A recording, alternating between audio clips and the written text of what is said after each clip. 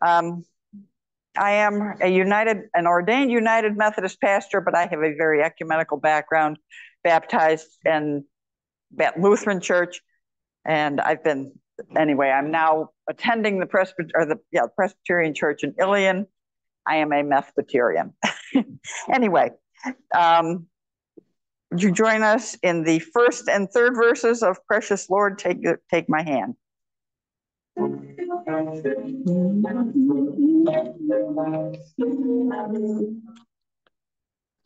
Precious Lord, take my hand. I am tired, I am weak. Through the storms of the night, Take me on to the light. Take my hand, precious Lord, lead me home. When the darkness appears, I trust you. When the day is past and gone, Father, hold my stand, guide my feet, hold my hand, take my hand, precious Lord, lead me home.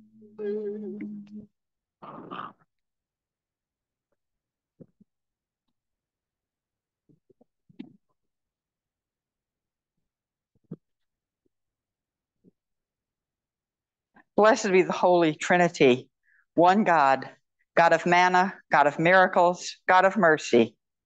Amen. Drawn to Christ and seeking God's abundance, let us confess our sin.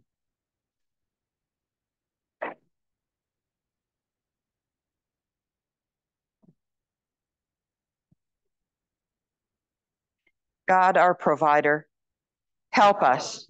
It is hard to believe there is enough to share. We question your ways when way they from our ways, which we live.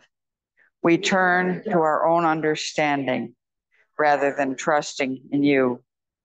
We take offense at your teachings and your ways. Turn us again to you. Where else can we turn? Share with us the words of eternal life and feed us for life in the world. Amen. Beloved people of God, in Jesus, the manna from heaven, you are fed and nourished. By Jesus, the worker of miracles, there is always more than enough. Through Jesus, the bread of life, you are shown God's mercy. You are forgiven and loved into abundant life. Amen. Our hymn is number 870. We praise you, O God. Thank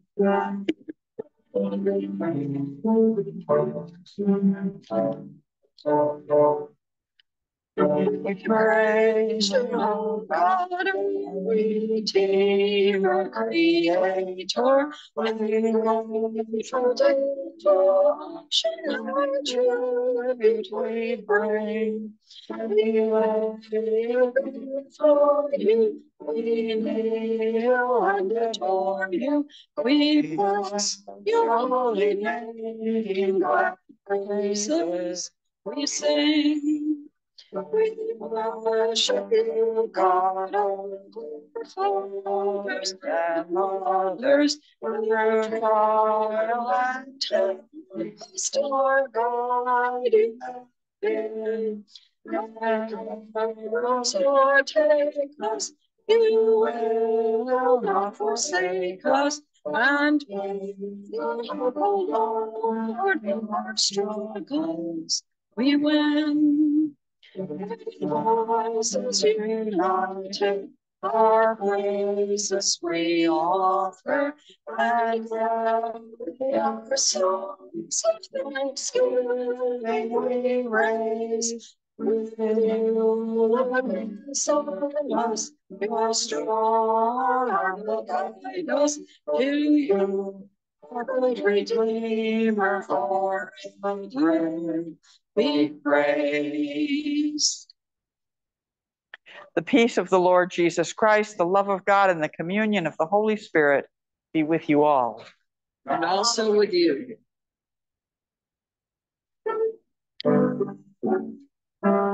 Blessed be God, source of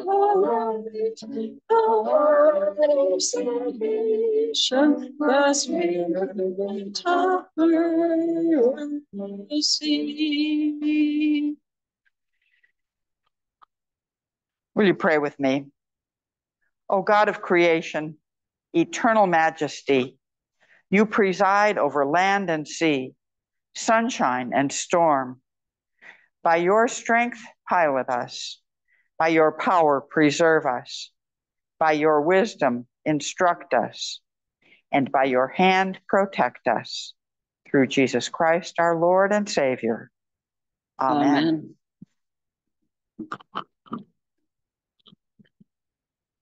Amen. Our first reading this morning is from Job chapter 28, 38, excuse me. The Lord answered Job out of the whirlwind. Who is this that darkens counsel by words without knowledge? Gird up your loins like a man. I will question you, and you shall declare to me. Where were you when I laid the foundation of the earth? Tell me if you have understanding. Who determined its measurements? Surely you know. Or who stretched the line upon it? Or what were its bases sunk? Or who laid its cornerstone? When the morning stars sang together and all the heavenly beings shouted for joy? Or who shut in the sea with doors when it burst out from the womb? When I made the clouds its garment and thick darkness its swaddling band and prescribed bounds for it and set bars and doors and said, Thus far shall you come and no farther, and here shall your proud waves be stopped. Word of God, word of life. Thanks be to God. Our psalm is Psalm 107. We'll read this responsively, starting with the antiphon. You still the storm and silence, silence the, waves, of the sea. Give thanks to the Lord, for the Lord is good, for God's mercy endures forever. Let the redeemed of the Lord proclaim that God redeemed them from the hand of the foe. gathering them in from the lands, from the east and from the west, from the north and from the south. Some went down to the sea in ships, plying their trade in deep waters. You still the storm and silence the waves of the sea. They beheld the works of the Lord, God's wonderful works in the deep. And God spoke, and a stormy wind arose, which tossed high the waves of the sea. They mounted up to the heavens and descended to the depths. Their souls melted away in their peril. They staggered and reeled like drunkards, and all their skill was to no avail. Then in their trouble they cried to the Lord, and you delivered them from their distress. You stilled the storm to a whisper, and silenced the waves of the sea. You stilled the storm and silenced the waves of the sea. then were they glad when it grew calm, when you guided them to the harbor they desired. Let them give thanks to you, Lord, for your steadfast love and your wonderful works for all the people. Let them exalt you in the assembly of the people. in the council of the elders, let them sing hallelujah. You stilled the storm and silence the waves of the sea. Our second reading is from Second Corinthians chapter 6. As we work together with him, we urge you also not to accept the grace of God in vain. For he says, At an acceptable time I have listened to you, and on a day of salvation I have helped you. See, now is the acceptable time. See, now is the day of salvation. We are putting no obstacle in anyone's way, so that no fault may be found with our ministry. But as servants of God, we have commended ourselves in every way through great endurance in afflictions, hardships, calamities, beatings, imprisonments, riots, labors, sleepless nights, hunger, by purity, knowledge, patience, kindness, holiness of spirit, genuine love, truthful speech, and the power of God, with the weapons of righteousness for the right hand and for the left, in honor and dishonor, in ill repute and good repute. We are treated as impostors and yet are true, as unknown and yet are well known, as dying and see, we are alive, as punished and yet not killed, as sorrowful yet always rejoicing, as poor yet making many rich, as having nothing and yet possessing everything. We have spoken frankly to you, Corinthians. Our heart is wide open to you. There is no restriction in our affections, but only in yours. In return, I speak as to children. Open wide your hearts also. Word of God, word of life. Thanks, Thanks be to God. Please rise. Hallelujah, hallelujah, hallelujah, hallelujah.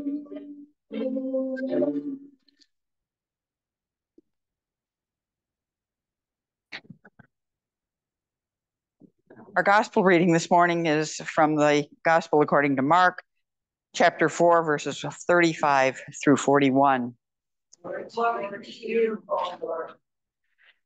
When evening had come, Jesus said to the disciples, Let us go across to the other side.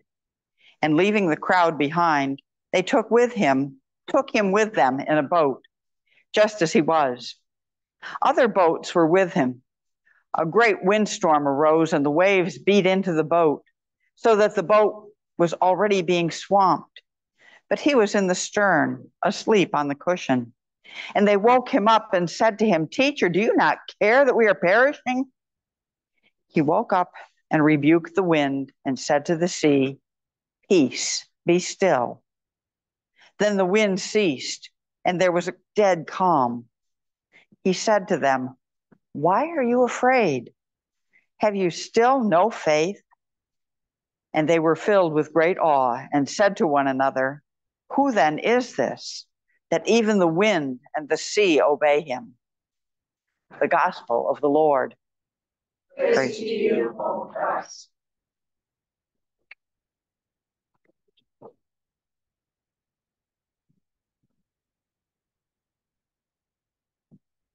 Will you pray with me? May the words of my mouth and the meditations of each of our hearts be acceptable in your sight, O God, our strength and our Redeemer. Amen. We're in crisis and we don't know what to do. We could die and no one cares. And where is Jesus? Asleep on a cushion in the boat. Wake up, Jesus. Do something before we die in this storm. Most of these men were fishermen. They knew the Sea of Galilee, the sudden storms that blew up.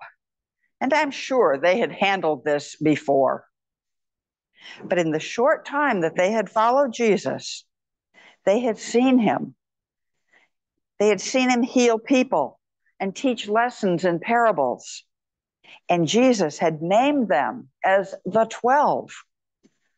They expected him to do something special, to save them from the storm. And he did so with three simple words Peace, be still. But then he added for the disciples, Why are you afraid? Have you still no faith? I think Jesus could ask these same questions of us, people who call themselves Christians.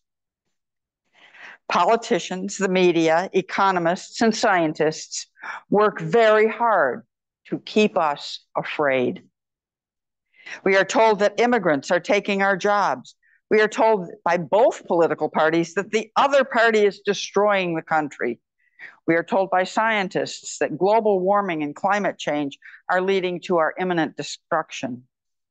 We are encouraged to buy guns security systems, property cameras to protect ourselves and loved ones from those very dangerous criminals that stalk our streets. We see church attendance falling and churches closing, and we are afraid for the spiritual well being of ourselves and future generations. Phobias are rampant. We are afraid of death, of bugs and germs, and people who are not like us, and poverty and disease. Why are you afraid? Have you still no faith? To the Corinthian church, a church plagued by troubles and dissension, Paul declared, Now is the acceptable time. Now is the acceptable time to tell the truth in love and affection. Do not be afraid. Do not give in to the conspiracies, to fearmongers, to the deniers, to the anger and hatred and fear that that engenders. Look at the situation with open eyes, open minds, and open hearts. In Psalm 207, or 107 rather, we read the parallel story to the gospel reading. The sea is raging and the sailors are afraid. They mounted up to heaven they went down to the depths. Their courage melted away in their calamity. They reeled and staggered like drunkards and were met and were at their wits' end. They cried to the Lord in their trouble, and he brought them out from their distress. When we're in danger, when we're afraid, we need to turn to God. Not to fear, nor to fellow human beings, nor politicians, nor the military the prophet Isaiah said, Woe to those who rely on horses, who trust in chariots because they are many, and in horsemen because they are very strong, but do not look to the Holy One of Israel or consult the Lord. It's an age old problem that we forget to turn to God when we're really in trouble. We should trust in God, pray, and place our fears in God's control. But we cannot expect God to fix everything for us, to pull us out of every pickle we get ourselves into. God gave us brains and hearts and hands and feet and enough guidance in the life and teachings of Jesus to show us how to solve our ills today. We do not have enough time this morning to discuss all of the immediate issues that we face.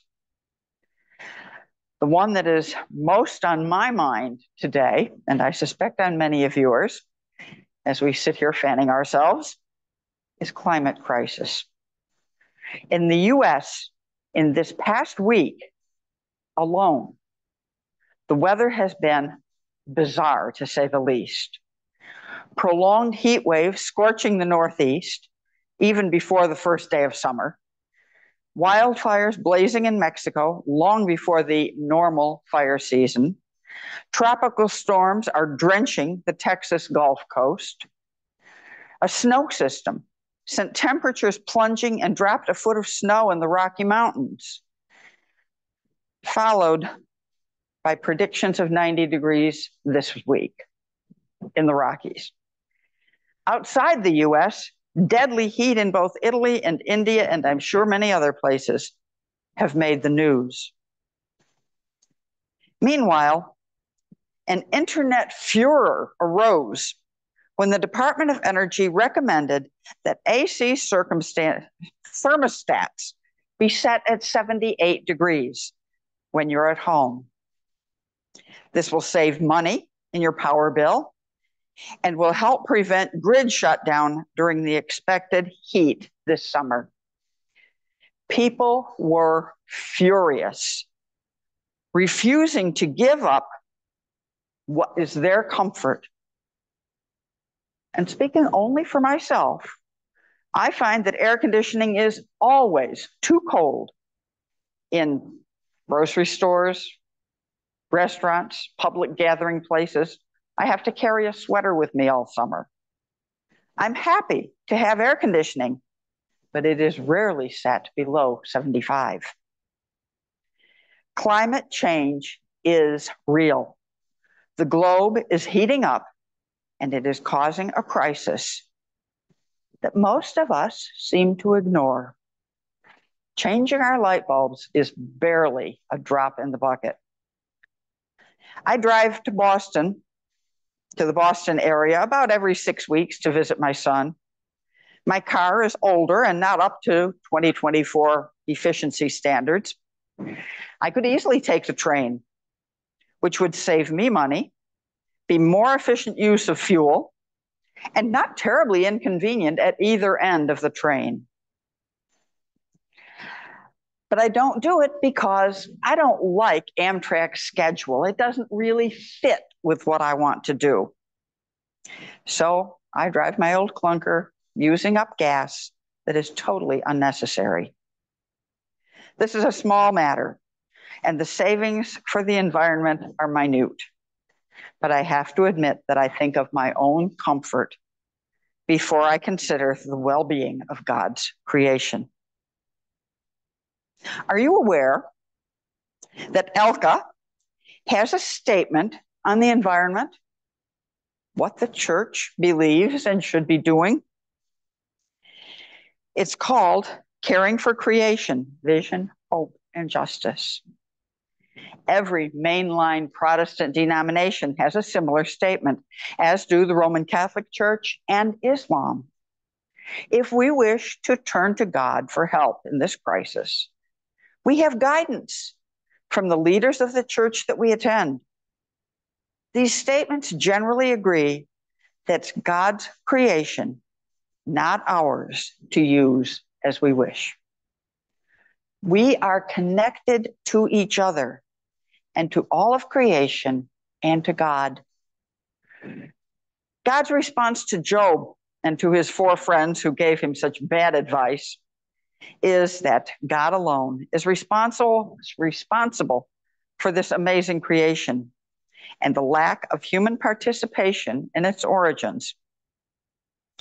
Where were you, God says, when I laid the foundations of the earth? Or who shut the who shut the sea with doors and thus and said, Thus far shall you come and no farther, and here shall your waves be stopped. Not only did we not participate in the creation, we humans have defied God's boundaries for the seas by building levees so that more people can have ocean and river views. We build dams for electrical power and flood control. We destroy marshlands and animal habitats for shopping malls that quickly become obsolete. I was introduced to the environmental crisis when I was in seminary in 1988. We were assigned to read Bill McKibben's The End of Nature when it appeared in the New, York New Yorker magazine. In essence, McKibben said that humans have taken over nature. We control the water, the forests, fields, and animals. We have not yet learned to control the weather, but we certainly have had a negative effect on the climate. When I visited my sister in Washington State a few years ago, I was both delighted and disturbed to see that the lumber industry was reforesting the whole area that they had cut down. I was delighted that the trees were being replaced for the many benefits trees offer. They provide oxygen, they filter out harmful gases, they shelter animals and provide energy. But I was disturbed because when they reforest, they plant the trees in nice, even rows for easy harvesting the next time around. Wild forests are becoming rare. Future generations will not know the beauty of old growth forests. They will think that forests grow in neat, straight lines. Yes, Genesis 1 26 the climax of creation, God gives dominion to humans. Then God said, Let us make humans in our image according to our likeness, and let them have dominion over the fish of the sea, and over the birds of the air, and over the cattle, and over all the wild animals of the earth, and over every creeping thing that creeps upon the earth. So God created humans in his image. In the image of God, he created them male and female. God created them. But a mere five chapters later, the Lord saw that the wickedness of humans was great in the earth, and that every inclination of the thoughts of their hearts was only evil continually. And the Lord was sorry that he had made humans on the earth, and it grieved him to his heart. So the Lord said, I will blot out from the earth the humans I have created, people together with animals and creeping things and the birds of the air for I am sorry that I have made them. Very early on, humans made a mess of things, and God regretted creating us. But as so often happens in Scripture, God relented and saved eight humans. Noah, who found favor with the Lord, and his wife, three sons and their wives. All of these were saved along with the animals on the ark. But after the flood waters subsided, no sooner had Noah stepped foot on the land than he got drunk and started the whole human race on a path of destruction once again.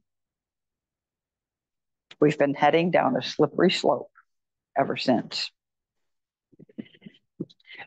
And lest we begin to think that human beings are too important for God to obliterate. I recently read that if all human beings were to disappear from the earth, the earth would not only survive, what would restore itself to its natural God created state. If all insects were to disappear from the earth, it would be the earth destruction. Insects are essential to the ecology of all things bugs are more important than humans. The hope for the earth, for the balance of nature, is for us to remember that while God gave humans dominion, God didn't give us free reign to destroy the earth. The words of Psalm 24 remind us the earth is the Lord's and all that is in it, the world and those who live in it, for he has founded it on the seas and established it on the rivers. God has given us minds and hearts and bodies to tend creation. It is within our God given power to restore the earth, but it comes at a cost. We must seek truth. In Paul's words to the Thessalonian church, test everything, hold fast to what is good, abstain from every form of evil. In other words, don't ex- accept what you hear on blind faith. Do some research, seek truth. Our convenience and comfort must take second place to God's glorious creation. It's not easy to surrender air conditioning in a heat wave, but to set it at 78 is not too great a sacrifice for the good of all creation. As individuals, we won't make a dent in the crisis. As a community of communities working together around the world, we can change the crisis together. I chose only one crisis we're facing to talk about today. The other crises of economic, social, political, moral, and spiritual issues are rampant. But the, the Bible speaks to every crisis we face, not directly, I don't think the Bible knew much about artificial intelligence, but the general principles are there in Scripture, giving us the words of Jesus and his actions for us to follow. And the Holy Spirit will see us through if only we would listen. If we work together in all things, we cannot think only of ourselves, but of the whole creation and the good of all people. But most importantly, we must love. Love God and God's creation, love ourselves and our neighbors, and love our enemies, and pray constantly. Amen.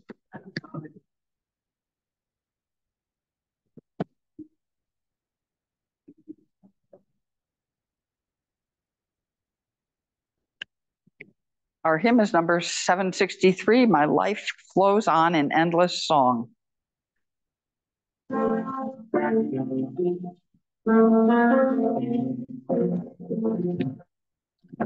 life flows on in endless song above her lamentation. I catch the sweet that far off him that is a new creation.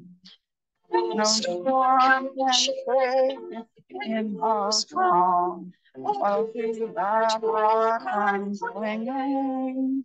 Since Christ is Lord of heaven and earth, how can I keep from singing? Through the strife, I hear that music ringing.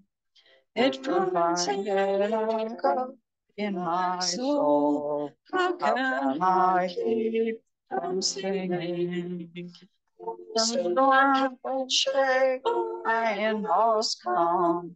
But through that rock I'm clinging.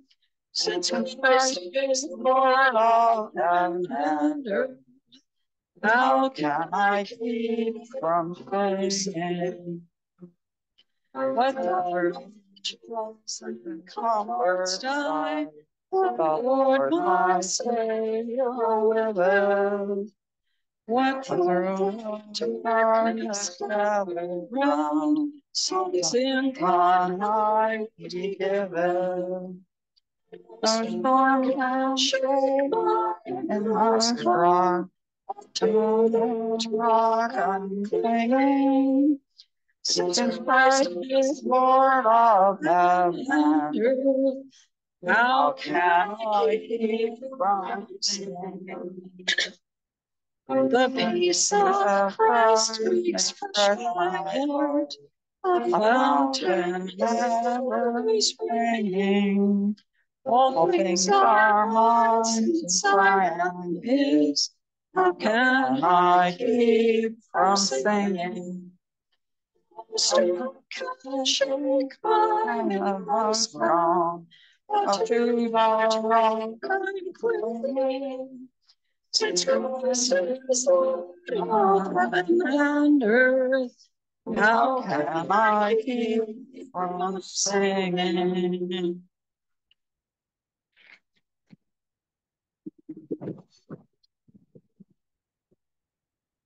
Will you join me in the Apostles' Creed? I believe in God, the Father Almighty, creator of heaven and earth. I believe in Jesus Christ, God's only Son, our Lord, who was conceived by the Holy Spirit, born of the Virgin Mary, suffered under Pontius Pilate, was crucified, died, was buried. He descended to the dead. On the third day, he rose again. He ascended into heaven, is seated at the right hand of the Father.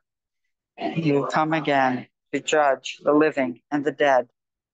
I believe the Holy Catholic Church, the communion of saints, the forgiveness of sins, the resurrection of the body, and the life everlasting. Amen.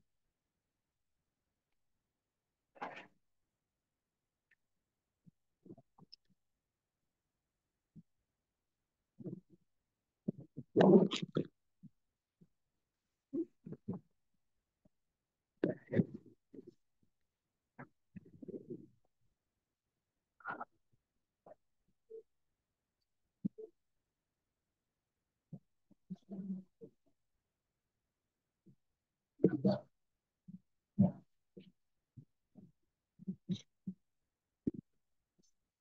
come before the throne, God, to pray for our communities, ourselves, and our world.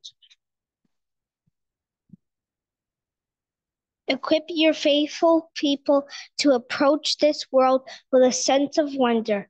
Make your church a safe place to, to explore big questions, troubling doubts, and honest statements. Humble our hearts to repent of all the ways that communities of faith have inflicted pain or tra- drama. Merciful God, receive, Receive our, our prayer. prayer. You spoke creation into order from the chaos of the swirling deep. May your name be praised by rivers and seas, wetlands and waterfalls. Secure clean water for all people and protect water sources from contamination or exploitation.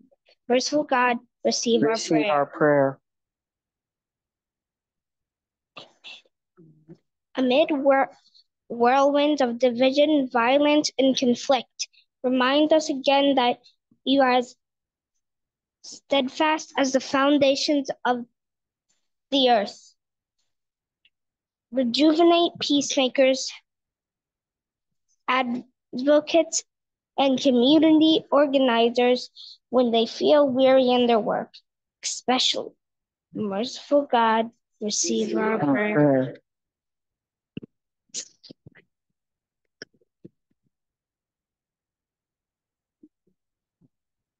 Heavenly Father, deliver your people from their distress, O God. We lift before you all who are sick or struggling. And we especially name before you this morning Ty, Sue, Peter, Sheila, Risley, Donna, Levi, John, Jeff, Jason, Michelle, Linda and Neil, Gary, Richard, Michael, Barbara and Irene, Leah and Charlie, Asher, Ginger, Jim and Judy, Alice, Gail, Rosemary, Lucille, Jeannie, Bob, and George, and those we name in our hearts at this time or out loud before you.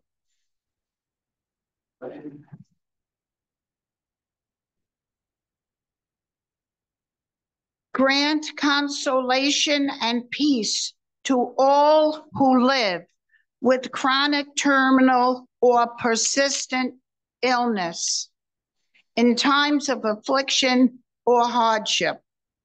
Sustain us, Lord, in faith and keep us looking toward you to trust you in all things.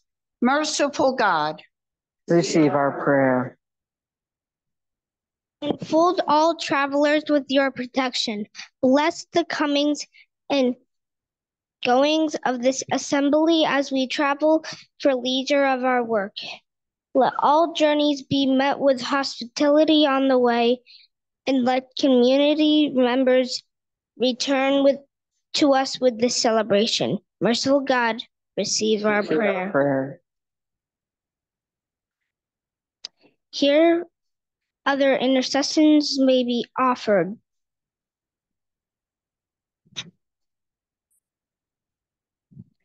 Lord, we thank you and praise you for the children in Faith Alive and all us older people. We just give you praise as we see you leading us and we see you guiding us and we see each of us growing in our faith and our love toward you and our love to one another. We ask you to be with especially these people during the time in July and August when we will not be meeting. But Lord, let your spirit grow in their lives and in my life and all of us. And we just give you praise one more time. And then we will meet again in September. In Jesus' name we do pray. Merciful God. Receive our prayer. Dear Heavenly Father, remember these five kids that showed up today in the life. Dear Lord, we also pray for this great young deal that matter and and take care of us in the future and we have.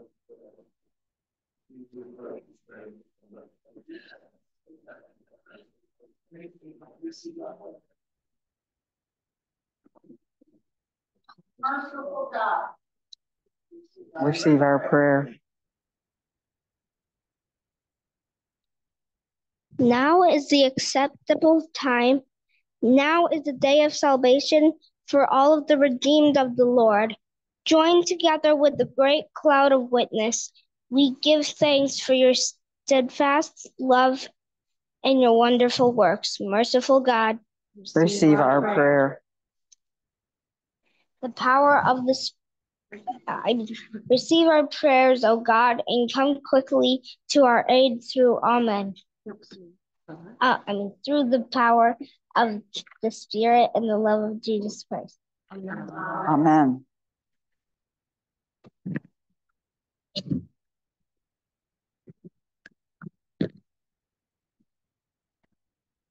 The peace of the risen Lord Jesus be with you all. And also with you.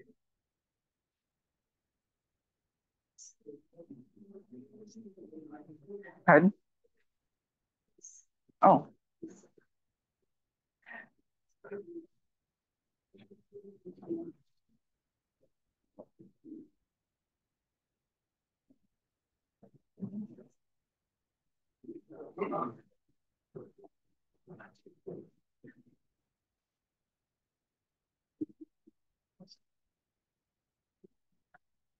Holy,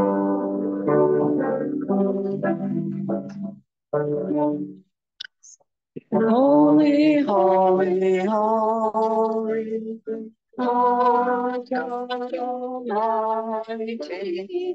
Early in the morning, our song shall rise to thee. Holy, holy, holy, merciful and mighty. God in three persons, blessed Trinity.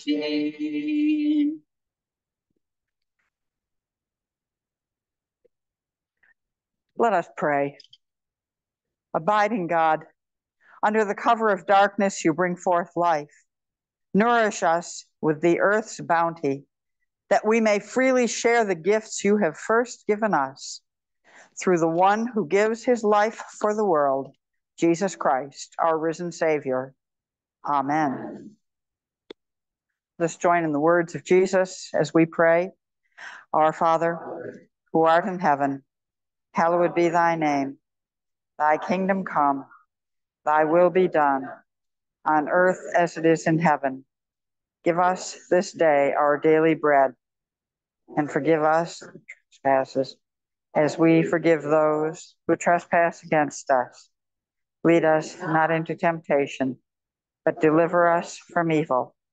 For thine is the kingdom, the power, and the glory forever and ever. Amen.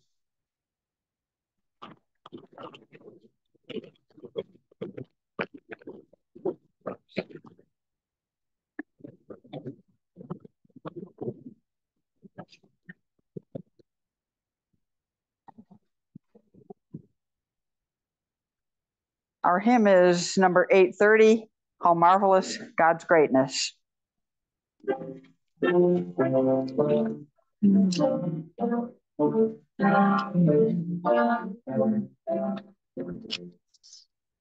Praise God's greatness, God's God's might. To this the world bears witness, and marvels day and night. And all snow, and mountains splendid earth. And after evening, in sky and sea and earth. Each tiny flower whispers, the great light is day. With the mighty mountain masses, His majesty proclaim. The valleys deep in a shelter for his own. Cause no peace are wanting to God's almighty throne. The ocean's vast abysses in one great psalm record. But he mysterious counsels and mercies of the Lord. The icy waves of winter are thundering on the strand. And chill stream is guided by God's all gracious hand. The starry hosts are singing all the wide sky of God's majestic temple and all his courts on high. When these outer chambers such glory gilds the night, which transcendent brightness is God's eternal light.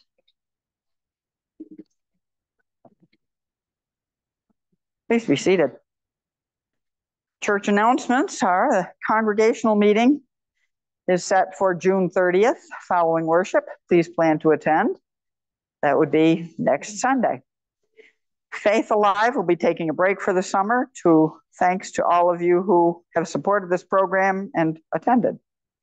The next Women of Faith Bible study will be Tuesday, June 25th on Zoom at 7 p.m.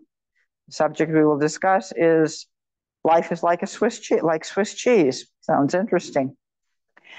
There will be a highway cleanup on Saturday, July 13th at 9 a.m. The food focus for June is condiments. And Bible study will be on Thursday at 10 a.m. in the fellowship hall. Are there any other announcements that need to be made? Thank you for being here. Yes. My pleasure. And where is God happening in your life this week?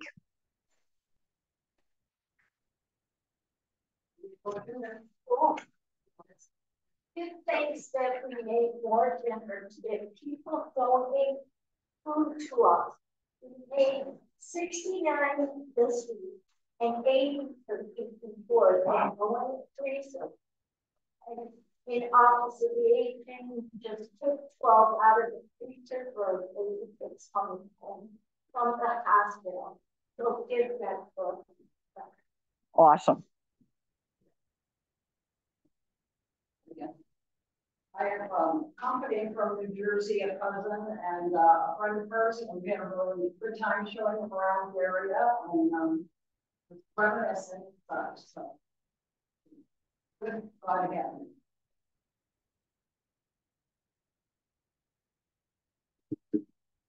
I have to put in a plug for where I live. A year ago, I moved to Sunset Wood in New Hartford. It's a retirement community. Um, absolutely independent. We can come and go as we please and do what we want. But I have found community there that I have never found elsewhere. And this week we have spent almost every night sitting out on the patio where there is a slight breeze. And we have gotten to know each other this week because of the heat. So I thank God for the heat in some ways. Other ways, I hate it. but it, it does draw the community together. No, it was too cloudy. I'm sure it was.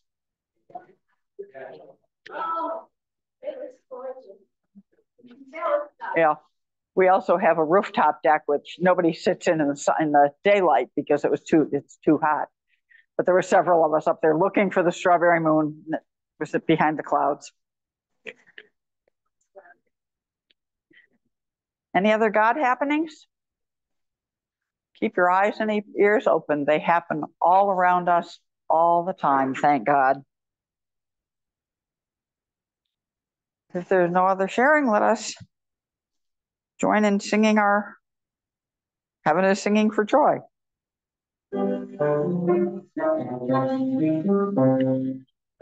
Heaven is singing for joy. Hallelujah. For in your life and mine is shining the glory of God.